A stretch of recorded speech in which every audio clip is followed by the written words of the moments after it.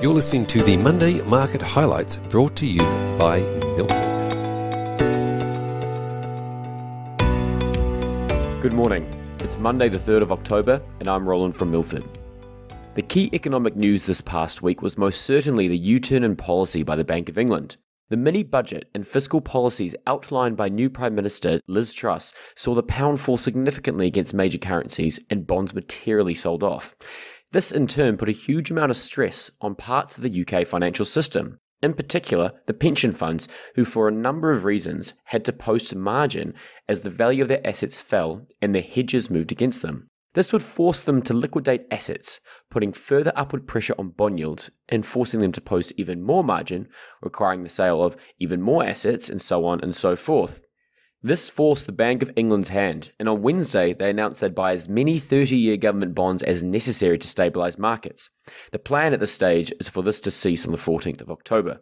Prior to this, the pound was at record lows against a number of currencies, it has since recovered some of these losses as yields have stabilised, albeit we are by no means out of the woods. Domestically, Aussie retail sales were released, coming in ahead of expectations. Sales for August grew 0.6% month on month, a deceleration from 1.3% achieved in July, but ahead of markets' estimates. In addition, the new monthly CPI index was released by the ABS. Previously, Australian inflation was only released every quarter. I suspect we'll see this number revised as they work out the kinks in the system, but nonetheless, it gives us an indication of where inflation is in Australia. Headline inflation was 6.8% in August on an annual basis, slowing slightly from 7% in July. However, core inflation that backs out food and energy prices accelerated to 6.2% from 5.5%. In the US, the PCE data was released, which, as you recall, is a different measure of inflation from the traditional CPI index. It's also the preferred measure of the Fed. It highlighted that inflation remains sticky and persistent, increasing 0.3% month on month compared to 0.1% expected. However, what was most concerning is that core PCE inflation accelerated to 0.6% and came in ahead of 0.5% expected. Turning to equity news, Optus remained under pressure as more information on their data breach has surfaced. As a reminder, Optus is owned by Singtel, is Australia's second largest mobile network, and suffered the largest data breach in Australian history with 10 million customers having some personal information leaked. The ramifications are still being worked through, with the actual cyber attack being classed as blunt and unsophisticated, which is of particular concern. Remaining in telco land, the ACCC has released their statement of concerns around the TPG Telstra regional network sharing deal.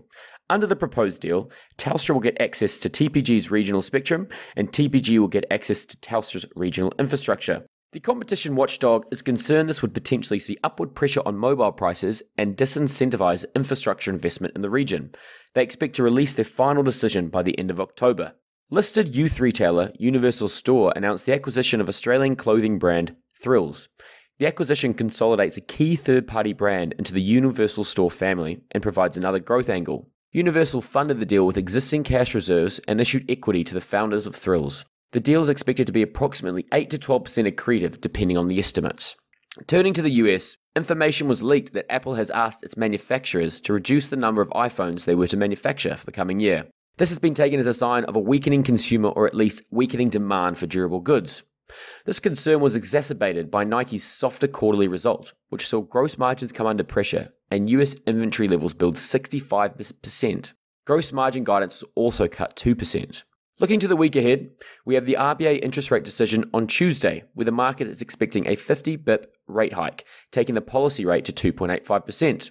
In the US, we have the non farm payrolls report on Friday, with the market expecting 250,000 jobs to have been added in September down from 315,000 added in August. They also expect the unemployment rate to remain flat at 3.7% and wages to grow 0.3% month on month. Thanks for listening. We'll see you next week.